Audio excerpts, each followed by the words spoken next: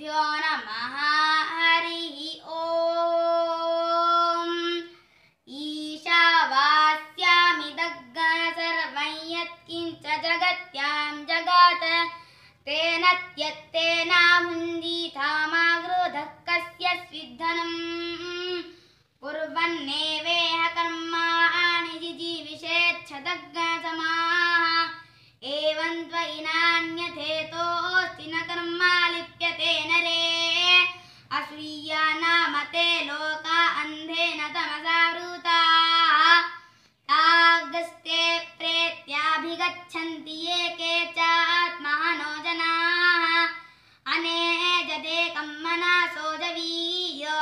नैन देवा आप्नुवन् पूर्वमर्जात् तद्धावातोऽन्यानत्येति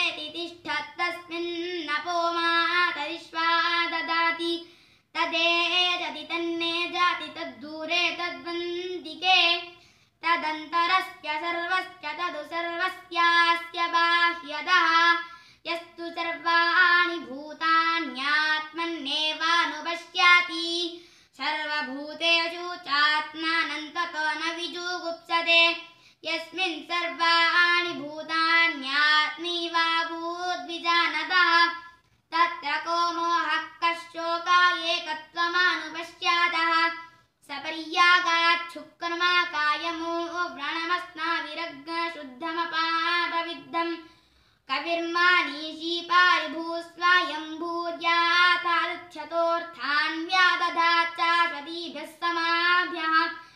अन्धन्तमप्रविशन्ति ये विद्यामुपासाते ततो भूया इव ते तमो यभूविद्याया अज्ञानताः अन्यदेवाहुर्विद्ययान्यदाहुरविद्यया इति शुश्रुमधीराणान्येनस्तद्वीचचक्षिरे विद्याञ्च विद्याञ्च यस्तद्वेदो भयज्ञसः अविद्यया तीर्त्वा विद्ययामृतामश्नुते अन्धन्तमप्रविशन्ति ये सम्भूतिमुपासाते ततो भूया इव ते तमो यभुसम्भूत्याज्ञानताः अन्यदेवाहुः सम्भवादन्यदाहुरसम्भवात्।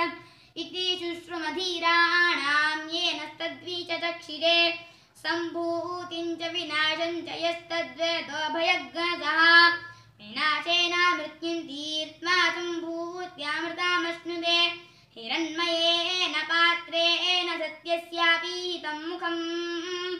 तत्त्वं पूषन्नपारो न सत्यधर्माय दुष्टये। पूषन्ने करशेयमसूर्यप्राजापत्यव्यूहरश्मीन् समूहते जो यत्ते रूपं कल्याणतमं दत्ते पश्यामि। योऽसावसो पुरुषः सोऽहमस्मि वायुरनीलममृतमथेदं भस्मान्तर्गणशरीरम्